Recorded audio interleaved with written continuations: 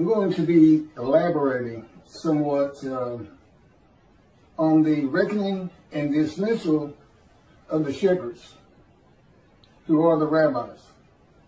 And I'm going to get into that, the definitions themselves, what this means, and, and in part why God has done this. One thing I want to make emphatically clear, since I hadn't heard one word from a rabbi, and I'm quite certain, as a group, maybe not all, as a group, they had no idea there'd be a reckoning and a dismissal by God. They would not enter the scroll of remembrance, which means they don't see God's heaven for the Jewish people, which is something you do not want to miss because they just talk about the Messianic era. All of a sudden, Moshiach perfects the world. Everybody loves the Jew and exalts him in the world. The world speaking Hebrew. And the sole existence of mankind becomes to know God. Nations love nations. Things that simply cannot happen. And what do they leave out? How about God might hurl your glory to the ground or utter destruction if you don't recognize Elijah? You know, you're praying for Moshiach every day. One, you don't know you're about to get dismissed when he comes. And two, you completely ignore utter destruction if Elijah is not recognized. He clears the way for the building of the temple, which is God's purpose that might prosper. Don't build it, utter destruction will come someday. Build it, and you will never be defeated and dispersed again. Who should you be looking for? I mean, what does David do?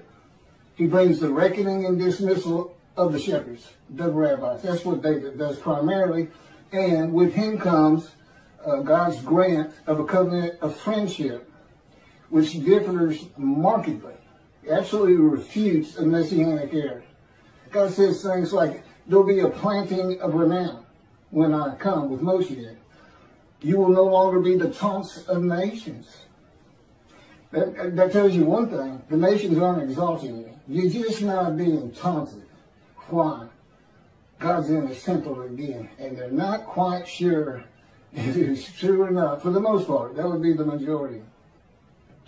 Uh, and of course, the covenant of friendship, well, that is the covenant of friendship.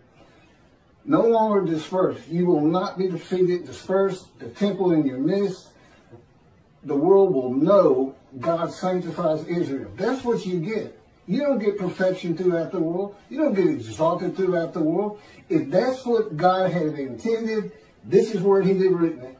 In the covenant of friendship. It absolutely refutes it. You got utter destruction, Malachi 3. You got your glory hurled to the ground, your power. Um, if you don't assist God in recognizing me, that's what it says he's saying, you know, uh, who is this coming from? Adam, Gentile lands, Christianity. Who's this? You know, the people's no one listen to him, and he's not happy about it, and he says it, I think it's verse 3, could be, he's stunned that he's not getting a response. Particularly, and I don't know why now, the mountain of evidence that has been presented to the Jewish people on these videos cannot be surpassed by any other man to come. I'm either him or he ain't coming. Which is it? God said he was coming. God's righteous servant. What was David? A servant who was righteous. Who was Elijah? Servant who was righteous. Who was Moses? Servant who was righteous. Who else? Who are we missing? God's righteous servant. One description, four righteous servants. I am all four men. I, I just reposted it again. I have a verse by verse commentary solely showing how I and my life fits Isaiah 53 and explaining it. Explaining what he was wounded for our sins means. No man has ever been able to do that before me. Certainly not Tovia Singer with his absurdity, uh, an absolute absurdity. Six million Jews die and then a ram a ram guilt offering. That's not even all of Israel. That's about one third of Israel at the time. Nobody got long life. it looks like Hitler's the one who made the sacrifice, and he didn't get long life. No one's made no one is made righteous because of it. It's an absurdity. Okay, he couldn't come close to interpreting the true meaning and the way to um, to make this understandable. Isaiah 53 is in large part a snare. Okay, God knew the Gentiles, the Gentiles were going to take your book one way or another. And he set them up. And set them up for the day of the Lord. And he set up the rabbis too. He knew you were going to be practicing a Messianic era. All of these are proof as I straighten all this out, putting forth what he wants Judaism to be. This is what God wants Judaism to be. Not what Rambam wants it to be. He doesn't even want the entire world to be simply to know God. It's not what he wants. Primarily, God, what are you doing? What are you doing? I'm creating a new heaven, he says that first, and a new earth. What's new about the heaven you're creating? What changes? I'm going to have a new host of angels, the angels of Israel. And I want every Jewish, all of my children to go through the same thing they've all had to go through. Anti-Semitism, racism, bigotry, uh, having to uh, survive on a planet that simply does not like them. That's what he's looking for. That's the angels of Israel. You got your own unique personality. 613 laws. Okay, about 200 of them were animal sacrifice, and that was done away with by his prophet. God said, I don't want your animals anymore. Yet Tovia Singer thinks he wants a human being. You're not supposed to add to or take away anything from the Torah. And when you see you're about to do it, you better ask yourself, where am I wrong? Where am I wrong to add a human being, much less six million of them? And, you know, go on Christian. That's what they did. Let's put a human being in an unblemished lamb and we'll be sin free. I don't know what, I don't know what your guilt offering did for the, for the Jewish people who become the righteous servant. No, the servant is for the day of the Lord. He has to have a Moses, a representative. It could be an Elijah or a David. But he's got to have a man. Okay, I fit it to the T. That my Isaiah 53's been out there for over two years, and I get nothing. Don't tell me these people like Tovia and Jews for Judaism haven't heard some rumblings. I can't say exactly what. God doesn't tell me things like that. He'll never tell me what another person's thinking. He won't tell me anything to happen in the future. If I can't find out an answer of my own, then I don't find it. They don't give it to me. You know. But, uh, oh, uh, one of my first lessons, and, and, this is for the rabbis who think God, this can't be, or he's not David. Uh, we're not working with him to dismiss. They just want to pretend it's not there. Yeah, you're not going to heaven. Okay? That's every rabbi on the face of the earth. I would include religious leaders. Matter of fact, if I had my way, and I don't, I'd include the government because they're leaders. But let's get to this first. Because y'all don't know God like I know God. I've been with him for 13 years in the fire of refinement, punishment, chastisement, maltreatment, crushing, bruising, wounding. And it is constant and incessant. I will say this, I couldn't see it for about five years but it has changed me.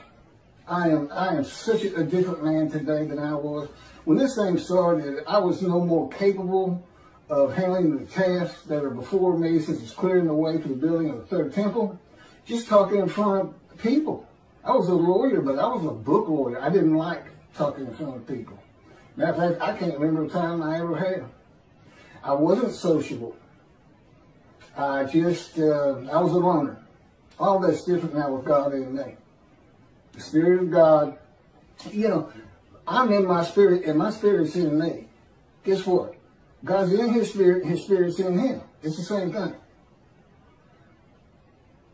And his spirit is an angel of his presence. He made an angel, created an entity, a person in existence with emotions. And for his body, he did not give him human form and wings. No, His body is the Spirit of God. So if God comes to you, or the angel of the Lord comes to you, you are, for that time, a man of divine being. Now, the man uh, who wrestled with Jacob, that's just, God just saw fellow near Jacob, woke him up, told him, I'm the God of this land, Abraham, Isaac, and Jacob. I have something for you to do. And it's all to do with God. It's instant. You know who he is. There's no, huh? Who's this? There's none of that. You, you say, okay, let's go. I'm ready. What we doing? He's a man of divine things, but he was just one nothing. So he didn't go through much of a fire refinement, if any. I mean, he had to wrestle all night. But God does this with all of his prophets. It's just a way of changing it. It's like, you know, he has to break our will. And he can't have me snapping at people. I was known as a fighter. And, you know, if you said something to me that I didn't like, I didn't respond verbally to you. I just, I just hit you. I just laid into you. Fight's on. Nobody talks to me like that. That's who I was. And that's, God said, this was taking so long. because uh, it's got, the last three years have been the worst out of 13. Going on 14 now. It's, know, as he says, it just takes more to get the response out of you, the, the small change that I want out of you. I, and I'll tell you, I'm ready. I am flat out ready. And what is, there's a problem with your people? They don't know who you are. When you say utter destruction is coming, you're not fooling around. Here's here's what you know. You kind of get uh, one personality of God in the Hebrew Bible. You know, it's not far ranging. But what he showed me is based on the following. This is one of the first lessons he gave me. And anybody can, can look at this. I don't have my glasses on. I'll get through it the best I can. But this is the chapter that leads to the purchase of the Temple Mount. And it's uh, 2 Samuel chapter 24, verse 1. The anger of the Lord arose. Okay, I got to get my glasses. Bear with me.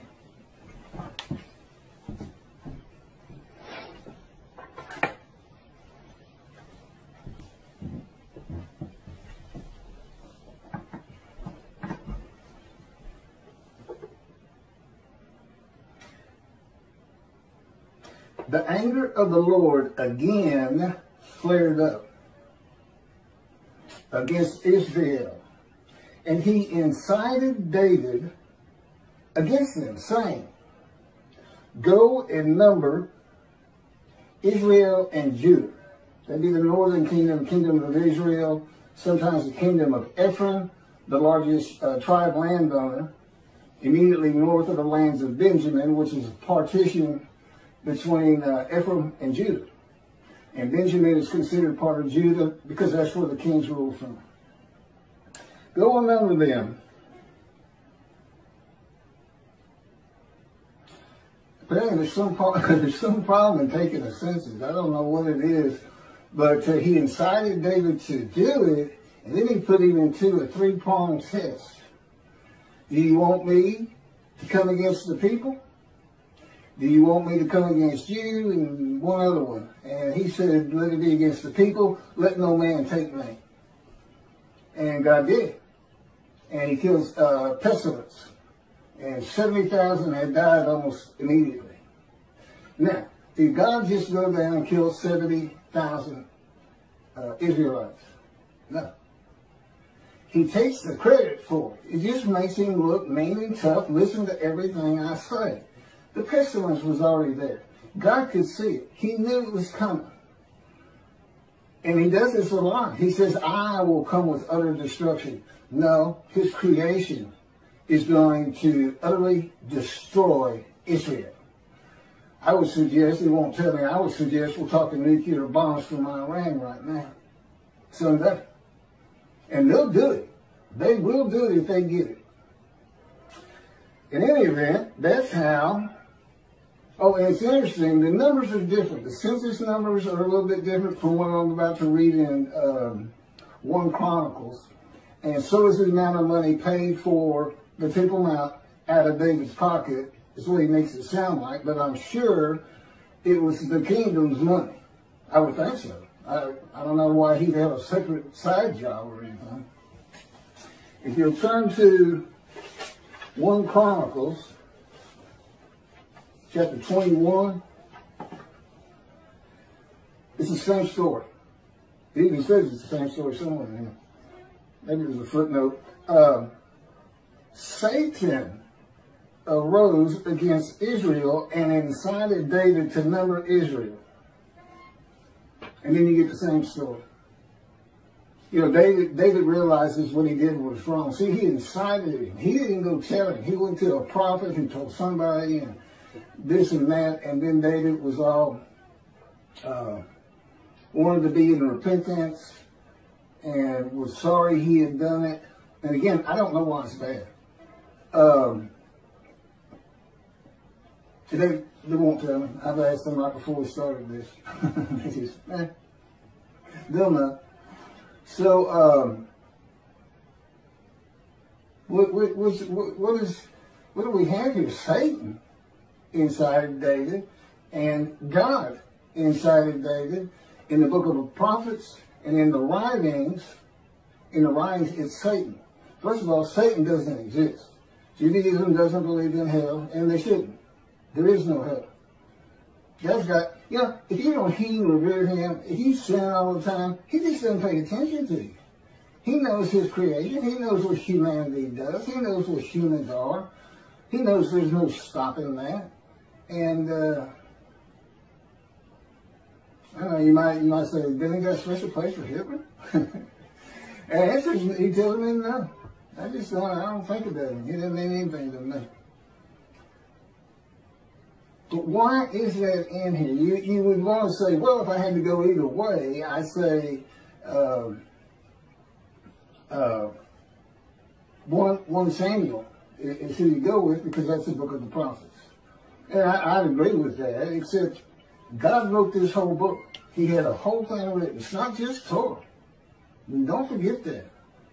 It's not just the Torah dictated to Moses. If you, uh, the book of Ezekiel, just as soon as Ezekiel wrote it, might not be the case, might not be all of it, but you know, just go with that. Whoever the main character is, they wrote it for God, because if they're talk, if he's talking to you, and he's going to be with you quite a while, like in writing one of these big books of 70 chapters, you're going through the fire of refinement. Moses went through the fire of refinement. You know how you know? Because it breaks your will. It makes you humble. It, it, it, it, takes anger out of you that you used to not be able to control. We start with Moses. He killed a man. He was so angry. He was getting into fights. Then he runs away. He, he doesn't he doesn't account for himself. He doesn't ask Pharaoh for for for uh, he, he doesn't repent. He runs away. He doesn't take account for his own actions. Not a good person. At the end of his life, it is said in the Bible, Moses was the most humble man on earth. And God said, Keith, I put that in there primarily for you. So you would understand you're not the only one that's ever gone through this. He says, you're tops. I mean, you're four prophets in one. Uh, Moses would be number two as far as the severity. But it took a man with that kind of anger. And Ezekiel had that kind of anger. He said, he said, I wanted a, a spirit seized me. And I went in bitterness and the fury of my spirit in the hand of God. He's in the hand of God, but he's bitter and furious. I know the feeling. That's the fire of refinement. That is the key to understanding Isaiah 53 and those words. A man is wounded, chastised, brushed, crude, uh, bruised, maltreated, so that I can go to those who are suffering guilt for sin and have the ability to make them understand God is here. Go to Judaism. Be observant. Stop sinning. Your guilt will go away. I offered myself to go through the fire of refinement so that I could remove your guilt. That's what it's all about. That's the first six verses, the witnesses. Wounded for our sins, bruised for this, crushed for this. Okay? It's, and, and it's just for me to be prepared. Now, he didn't even ask Ezekiel. He didn't have to ask me. You don't say no to him. He's God. You don't say no. You say, okay. I've said, okay, a million times, I believe. But, so to, to explain this, God says, just imagine a scale with the most, the, the finest, goodest, nicest, kind, merciful person you could ever meet. And down here, put Satan, the meanest, most vile, uh, brutal, doesn't care about your pain. And he can go all through it. Okay? He, he, he literally decides what emotions he's going to have. Now, I'm in the fire refinement, and I call this the black hat, this the white hat. This is what he told me. And we have a lot of good times in here. I mean, there's a lot of white hat. And the Holy Spirit's always in the white hat. Uh, he can be a troubler sometimes, but you know, it's kind of set up by God where He sent to incite things. Uh, and, and, then um, the black hat. This is where he is with me most of the time. The fire refinement. But we get over here. We get over here. Uh, the point is, he's not just uh, listen to what I say or I'll put a pestilence on you. Uh, if you don't stop sinning, I'm, I'm going to exile you. Uh, I'm going to take your temple. He, that would be someone over here, not necessarily to Satan, but he said that's why that was written that way. So I can tell you about it. But he's really, I mean, when he's flat out in the middle, he, he, I just love that personality. It just does me well. So um, he, he wants me to tell the Jewish people about him. And my, you know, my story, there's a lot I can't get into. I mean, he told me two things right off the bat. One, I don't care about your pain. And there's nothing I won't do to get you ready. There's no low I won't sink to. I will lie to you. And yeah, I know since God doesn't lie. In the fire refinement, he does anything to incite me. Would come under chastisement. Uh, wounding, slamming me to the ground. He's broken my chin open two or three times, cracked my skull. I got a nervous bad, uh, black eyes, skin off my face. Uh, that's wounding. And, you, you know, you ask yourself, what is this really doing to change me? But it eventually does. I still don't understand it. I told him I never understand it. but indeed it's working. So uh, for the rabbis, if you think by ignoring me with the amount of evidence God has put before you, I mean, he planned this entire book before he made creation and selected his chosen the entirety of it. That's why you only see angel of his presence and Holy Spirit one time. Judaism says Holy Spirit is not a person. There's plenty of evidence in the scripture that he is, and I can tell you personally he is. And he's a great little person too.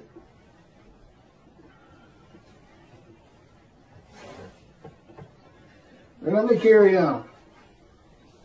It's somebody, he's not, I guarantee you, if Tovia Singer and Jews for Judaism was sitting back there going, well, you know, we make money. Oh, that's what they wouldn't say. We make money on Isaiah 53. Or we can't say we're wrong because of your arrogance and the, the ignorance that you show in your commentary just defies logic to me because God told me from the get-go. You know, I was an atheist for 50 years, had nothing to do with religious people. He said they're very intelligent, um, uh, people, uh, Judaism is, is well based, on the ground, all makes sense. This is what he told me in the beginning. Since then, I learned a lot different. I don't think much about their capabilities at all. Remember, I'm a prophet. God taught me. God controls my mind, my thoughts, my words, my physical motions, because I'm in the cords of his power. He can spin me like a top if he wants, slam me to the ground. He can make me, he can make me shake like a leaf. so that when I try to eat, I can't hold my food on the utensil. I end up having to use, take the bowl and put it, yeah, just embarrass you. Uh, I think you're really humiliating me. Uh, it is maltreatment, but I can tell you, I sure don't like you doing it. And he's done it, he'll do it with my legs, where you feel you're going to fall down. Sometimes I dread walking down the steps when he's got me right in the midst of, um, he, he calls it a three day thing where you, you know, which is at least once a week, if not twice. That's the kind of thing I'm talking about. And eventually that kind of treatment, maltreatment, changes you. And it also makes me, you know, I know what I've been through. I know the pain that I've been through. And I'm not even counting the accidents he put me through, being shot, giving me cancer, you know, shot through the abdomen. I'm not, I'm just talking about since he came and started talking to me when I was 50. Um, well, let me go over this reckoning again, because apparently it's just not getting through. And if those particular rabbis aren't listening, I, get plenty of views. I mean, I guess 4,000 now or something, which is nothing for the big boys. But, you know, I'm not a, a rabbi. Uh, certainly not a, anything to do with Christianity, Pastor. You know, I stayed away from religious people. I can't ever remember having a religious conversation uh, until uh, I was 50 with God. When he said, let's go buy you a Tanakh. And I said, what's a Tanakh? And uh, that's when he started teaching me.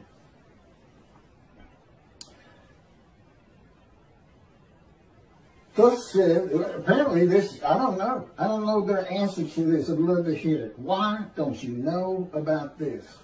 Thus said the Lord God, I am going to deal with the shepherds I will demand a reckoning of them for my flock, and I will dismiss them from tending the flock. Then I will appoint a single shepherd over them to tend them. He shall be a shepherd to them. I, the Lord, will be their God. My servant David shall be a ruler among them. Not a king ruling over them, among them in the Mishneh Torah, Rambam's got two chapters on King David, and he's making every bit of it up. He's thinking, what would the Davidic dynasty be like today? And off he goes. None of it's in the Bible. None of it. King Moshiach will study Torah all the day and all the night. Mm, no, he doesn't. Not even close. Because we, they, they got the Torah down. We, I to, you know, I know enough about it. It's not like I haven't read it, but it's not like the prophets. And to some extent, the writings.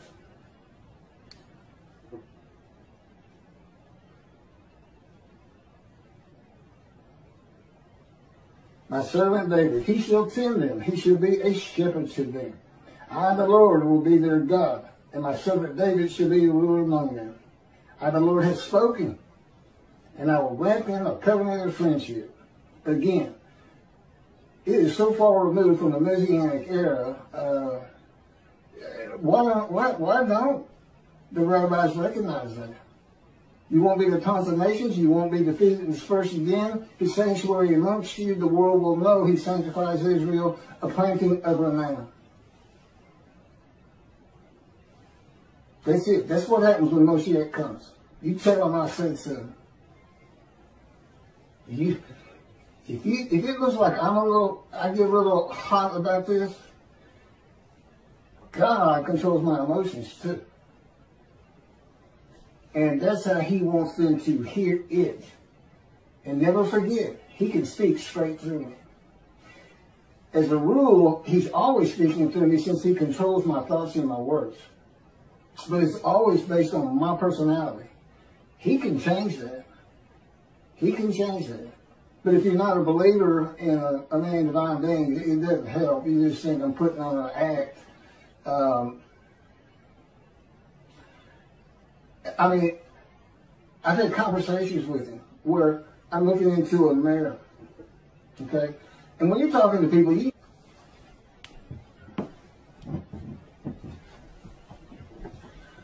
You generally, uh, you know, you know what your demeanor is. You know, you know what you're sounding like and what you look like. I'm looking at a mirror, and again, according of His power on me, I literally had a conversation with Him. And I look in the mirror, and that's not who I am in that moment, and it's not what I sound like. And, you know, he, this is my lessons. I had lessons all day long, and I had for 13 years. I mean, he's doing something with me all the time. And, and primarily, again, it's controlling my mind is based on my capacity as Elijah to teach you how you can think in heaven. Your spirit reads your mind. Okay, your mind takes in, know, your mind just electrical impulses, little chemicals, different tissue, and it just, it takes in what eyes can take in and what ears can take in. Your person is the spirit in you. Spirit and soul. And um, together, spirit and soul form a person. The, the soul's kind of like the DNA of who you're going to be. In heaven, you don't have that mind. God becomes the information of your mind. And he can do it for everybody in heaven. That's why he said, you know, before you pray, I will answer. Just because he's the one having you think, I'm going to pray. and you won't remember the things of the past. That's a whole other discussion. But I have all of that information because I'm Elijah. There's a reason he took him up specifically and nobody else and sends him back. It's a further proof of who I am outside of the fact I fit every verse of Isaiah 53, outside of the fact I'm the only man who's ever been able to explain Isaiah 53. The fact that despite your greatest minds, Jews for Jews, Toby the singer, and everybody else who makes commentary on it, have never been able to figure it out. You can't figure it out if you're not the righteous servant. And I couldn't see, I read it the first time, I said, what is it? I said, who do you think that is? I said, I have no idea. he said, that's you. I said, okay. This is in the verse two years. I can't remember exactly when. Okay, now these words are used. My servant David shall be king over them. Be one shepherd for them all king, prince, shepherd means leader. That's what it means. I want to be getting to that. This leader, this is words of leadership. It's not a Davidic kingdom. God, God knew all things from the beginning, and He knew when He had the day of the Lord, Israel would be a democratic, free country. There's no place for a kingdom. You know, you want a kingdom, go live in Saudi Arabia. They shall follow my rules and faithfully obey my laws. Thus they shall remain in the land which I gave to my servant Jacob, and in which your fathers dwelt. They and their children and their children's children shall dwell there forever, with my servant David as their prince for all time. That would be the line of David. You know, through Solomon. Solomon had the same covenant with God. And, and this is this the first people to read this are in antiquity. They understood king and prince.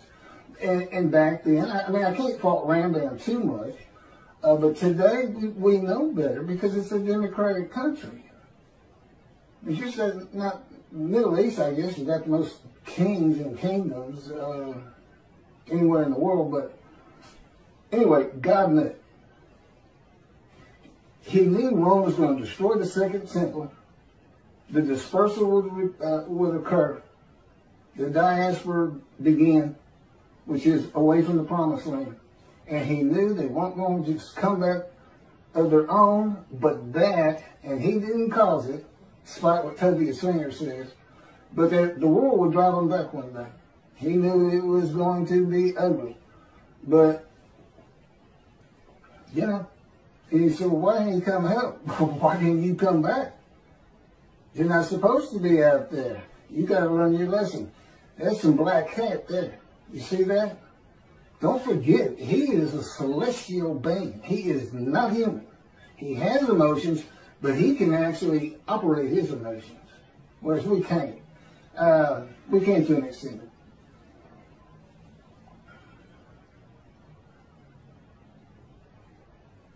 Okay, in today's world, so many synagogues and people Israel, the best interpretation of this dismissal is that uh, they and uh, will be a leader of God's flock to tend them and be a ruler among them, like a rabbi, a person with knowledge, a teacher. But I, I'm not getting ordained or anything.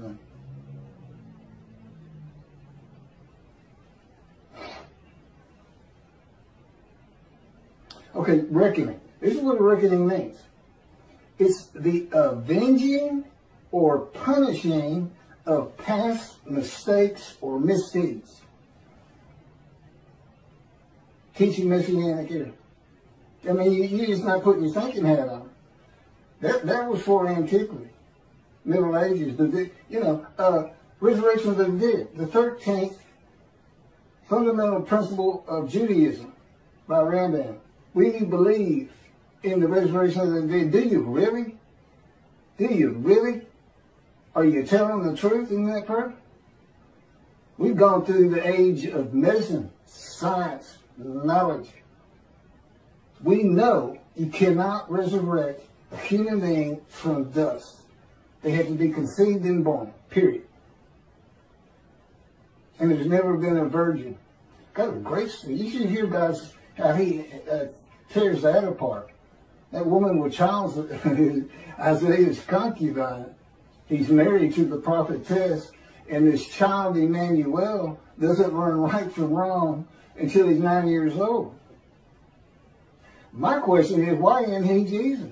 If his mother is a virgin, why isn't he Jesus? I'm going to put it to you. I got, I'm going to be the greatest anti-missionary of all time, particularly though, because eventually the many and the multitude are going to be telling the world who can believe our report. That's him. Who is on with the Lord been revealed on? That's him. He knows too much.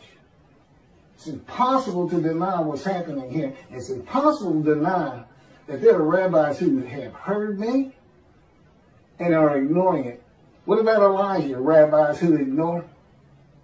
Because I'm Elijah too. What about that?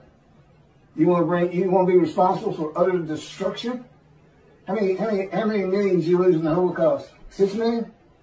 How many Israeli Jews do you have right now? Well, seven million. You ready to up the ante on that? How many Jews can we kill at one time? You're not going to recognize David. You don't get you don't get the covenant of friendship. And it doesn't go into I have both covenants sin forgiveness in Jeremiah 31 that puts Torah on your heart and uh, friendship.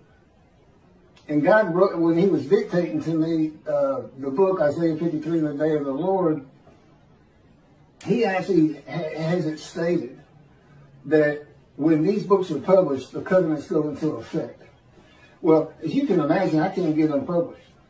And it has to be a big time publisher who can distribute worldwide and market worldwide. Because all Jews have to read it and know they're sin free in the holy seed. It's part of also being Elijah come back to Judaism and the righteous servant, 53. Makes so many righteous. Well, in effect, I've already done that with the covenants when the books are published. There's any rabbi who'd like to step out of dismissal and see the heaven God is creating, contact me. I'm easy to talk to. I was a lawyer for over 20 years. Had clients, you know, come in, had to be friendly. Yeah, I said I was antisocial, but in a business context, you know, it wasn't, it wasn't a big deal. I, I knew my parameters, so to speak. Uh, come forward and help me. Uh, you're a servant of God. If you're a Jew out there, you're a servant of God. Be proactive. Anything you can do to get me recognized, anything you can do, and, and understand this, this is supposed to happen according to Jeremiah. The land lay desolate for 2,000 years. Now the cities have been renewed, restored, Jerusalem rebuilt, the land blooms again. That's what it says. And it says, then I'll, I'll bring a new covenant to you. Huh, new covenant. You know what Rashi says? New covenant commentary. The angel is the angel of the covenant you desire. There's only two. And David brings uh, friendship. So we're talking about uh, the covenant of sin forgiveness to make you a holy seed, just like God did with the Assyrian Babylon exiles to have the second temple built. This is to have the third one built. You got a clean slate, but if you start sinning, that covenant didn't do you any good at all. So, you know, my job is come back. Don't let the evil inclination get you, so to speak. You got a clean slate. Honor God by coming back to observant Judaism. See, I got all kinds of pulls um, to help refill the synagogues, to grow every year instead of decline every year. And part of it is you got to change things like a resurrection of the dead. A time when the Jews are exalted. You know what you do? You make them lazy. What happens to never again? Never forget. You got utter destruction on the horizon. I have no idea when God might just say, that's it. I, have given them enough. They won't respond. I'm, I'm, I'm leaving. And utter destruction will come to them. You never know. You're servants, his servants. You're not the righteous servant, as Tovia Singer and Jews for Judaism, Michael Skobac, and whoever actually did the commentary, that absurdity they both put out there. Hey, Michael Skobac bases his whole commentary on an exaltation of the world of the Jew, the Messianic era. His whole commentary is based on something that will never happen. Never. You know, these religious people. I don't know how they do it. You know, I believe in it. I believe in the resurrection. Oh, you believe in millions and millions and millions of people suddenly appearing in Israel? Who, who's going who's going to feed them?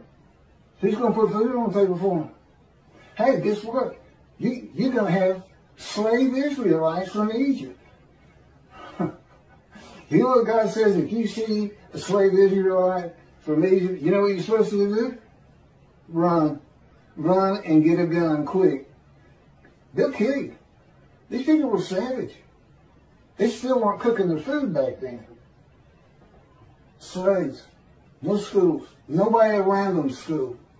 No, nobody listened to. Believing in all kinds of gods and this and that from Egypt. Yeah, they're suddenly going to appear. That's what they say. Every single Jew who's ever lived. You got six million from the Holocaust. What are you going to do with that six million? That's just that's just four years. It's the most. You're going to lose the young people.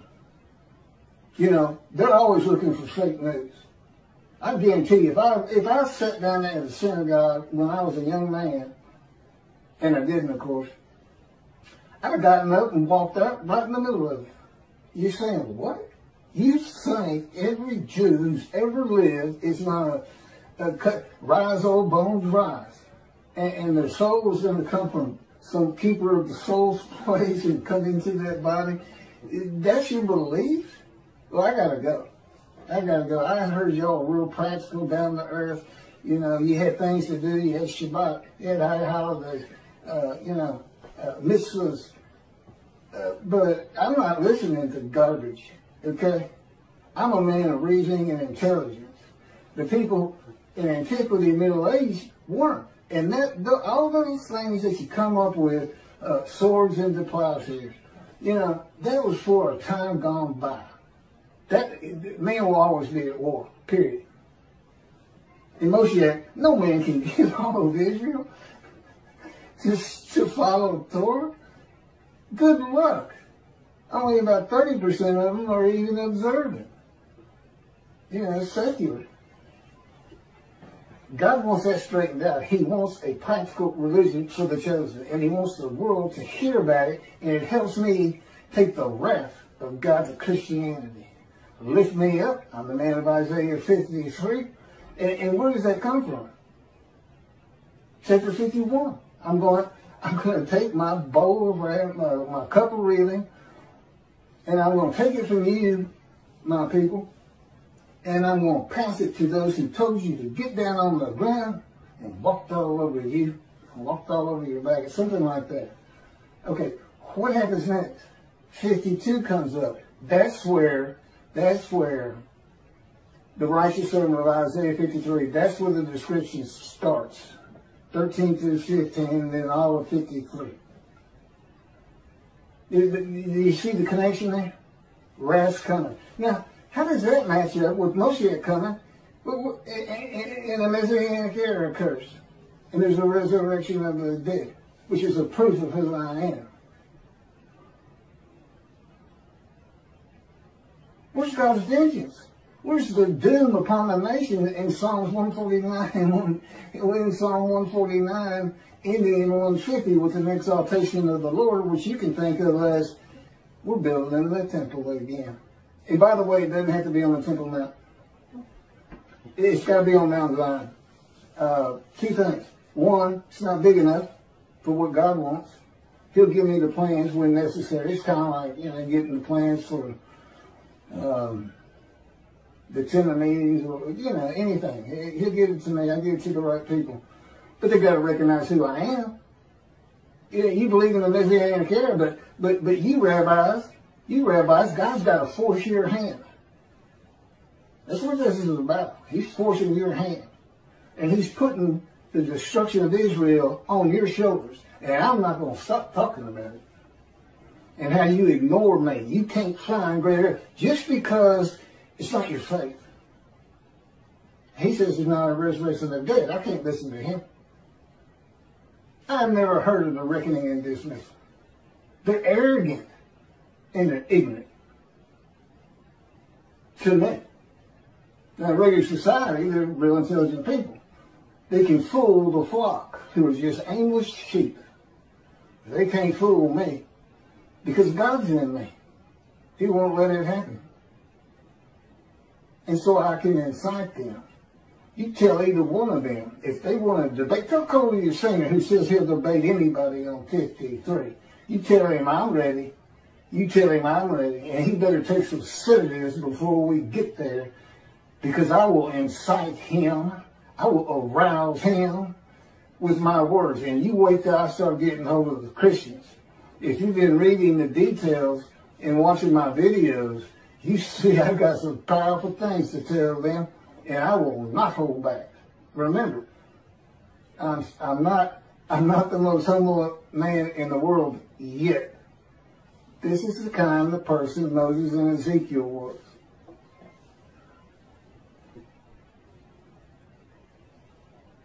reckoning, the avenging or punishing of past mistakes or misdeeds. It's not just the Messianic era. How about these two, Tovia and Skobac Jews for Judaism? I can't imagine they really believe what they're saying. They probably had to work and work. How can I explain this part? How can, you know, Tovia, Tovia's language, it just scares me because in the beginning, I really thought so highly of him years and years ago when God started teaching me and mean, listening to the radio show. And uh, I was learning things from him. He's got a lot of knowledge. But his capability of reasoning is at the level of antiquity, where there was no reason. Everybody lived on emotion because you, you learn how to reason in school. Maybe he just went to a yeshiva and, and didn't have to, to figure out math and other things that, that, that teach you. You don't use it, but it teaches you the reason. Okay. I got to get off this thing. Why is shepherds a metaphor for rabbis? In case they think there's a little wormhole there to get by this. Well, shepherds doesn't necessarily mean rabbis. Yes, it does. The term rabbi in the original Hebrew means a teacher. In pursuing that calling, individuals have responded to the various needs of their Jewish community. In addition to the literal meaning of the word rabbi, Jewish tradition views the three Hebrew letters of that word to represent an acronym. The abbreviation translates to shepherd of the children of Israel. The shepherd is the dominant leadership. Remember leadership, king, prince, shepherd. Is the dominant leadership metaphor in the Hebrew Bible. The role of the shepherd was a cornerstone of the Hebrew economy as sheep provided key staples of wool, meat, and other commodities. God's choice of the shepherd as a leadership metaphor made sense for a nomadic society dependent on sheep, goats, and cattle. Okay, the question, why all of the rabbis, even those without flocks, those who don't say anything about a Messianic era, still part of the religion they call their own? God is not pleased with the teaching of the rabbis of the day of the Lord, which is none, and their reliance on the opinions and commentaries of the sages and rabbis from the ancient age and Middle Ages.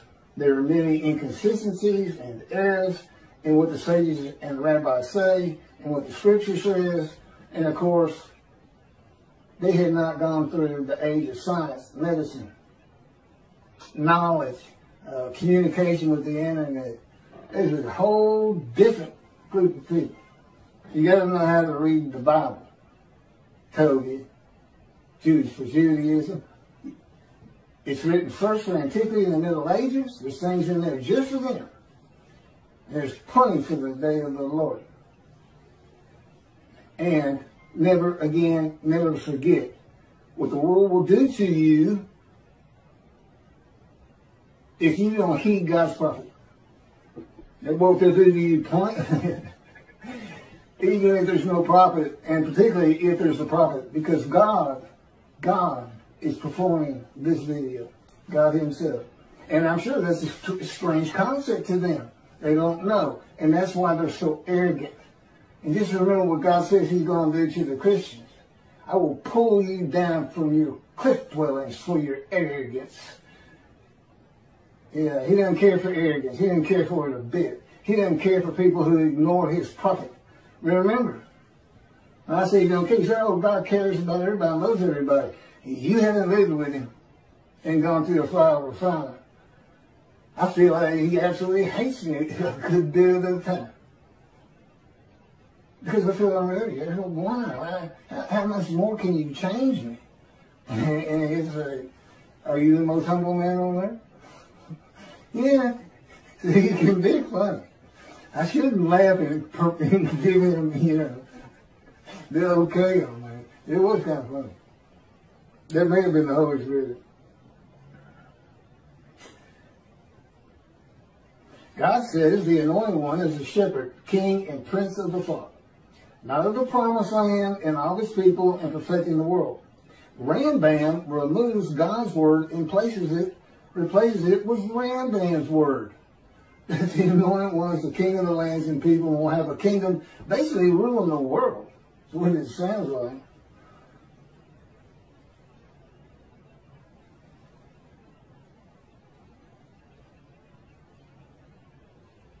God says the prophets were rarely listened to by religious leaders in biblical times before he stopped speaking to the prophets. He said, this is arrogance. You know, I know what I know, and that's my faith, and uh, I don't care what you say, I don't understand what you're saying.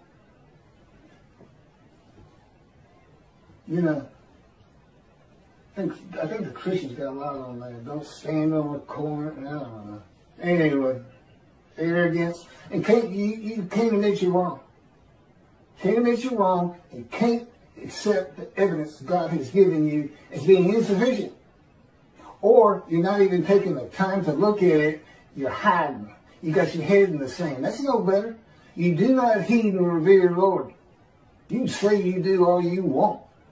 But his prophet is speaking, and when that happens, God is speaking. And uh, I don't see anybody listening to me. That's what this video is about. Trying to, trying to let y'all know how serious this is. You want to see 7 million dead Jews? You want to see Israel disappear? Keep ignoring Elijah. And that's what you get according to God. I know, y'all just select what God's words you want to abide by. And then, and, and Rambam's word sounds so much better whole world just to know God. Food for everybody. Delicacies like dust in the wind. Well, who's going to do the farming?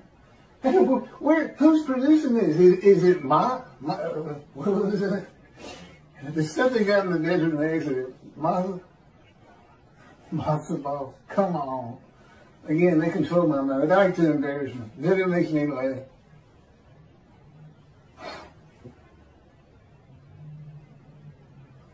Okay, all this comes from God, by the way. Interpreting and teaching what God actually says will not bring in any donations for the reason that the flock will want to know why God is going to have a reckoning with them and dismiss them. They will want to know what the sages and rabbis have done to anger God. The rabbis must learn how to read God's book. the Hebrew Bible. The two books he dictated to me explain what all that means.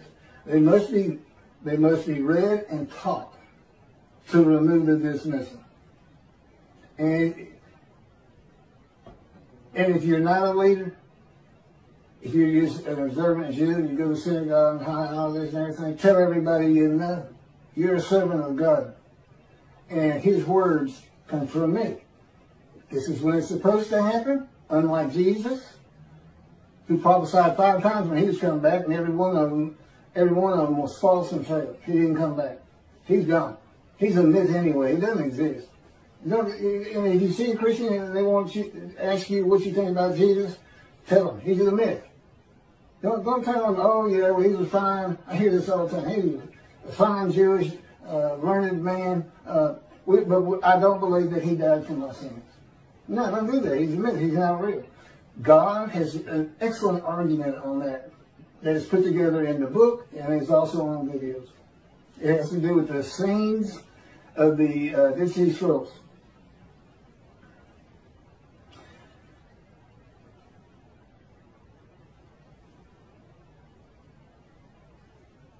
Okay, well my, my camera's got to be getting, it goes off every half hour. I'm going to just keep reading as fast as I can. I don't think I'm going to be able, but I'm, I'm not, I, that'll be the end of, of this uh, video, which will be about an hour long. God has never changed the will of men or how they think of him and the Jewish people is power. Any exaltation the Jewish people receive from the world will come through the efforts of God's righteous servant. That's me. But with him in control of everything I'm doing as directed and commanded by God as he did with Moses. Moses was a man divine being. I am God's servant David, the only shepherd of the flock God recognizes, and my unwritten purpose, we know what the written ones are. Go see what Elijah's clearing the way, recounseling families back uh, with Judaism, God's righteous servant, making the name righteous. Uh, you mentioned the prophet like Moses, you're talking about somebody who will write his words and speak his words. Um, uh, nobody's in bondage today, and that's the other thing he did. Elijah asked him about heaven.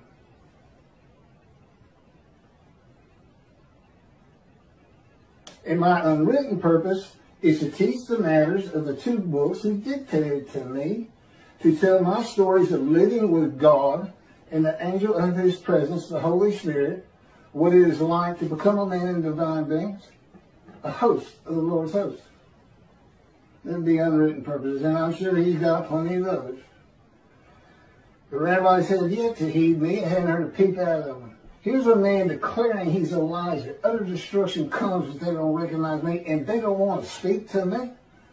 They don't want to get them books and read them. I know, I know Toby had for the most part because nobody from Israel's read them. I'd be too embarrassed. And in, in his arrogance, in his popularity and stardom, he's not even checking it out. Total disregard for utter destruction and death of today, 7 million Israeli Jews. Utter destruction. It doesn't leave room for, yeah, some might get out. Good luck making it over to Europe. if they're going to make you, they're going to have you surrounded at the same time. It's about time they read uh, God's books. It's scripture. It's not canonized. It may be one day. But it's scriptures divinely received, verbally given to me. Keep go to your computer. Write this down. There's a whole lot of learning that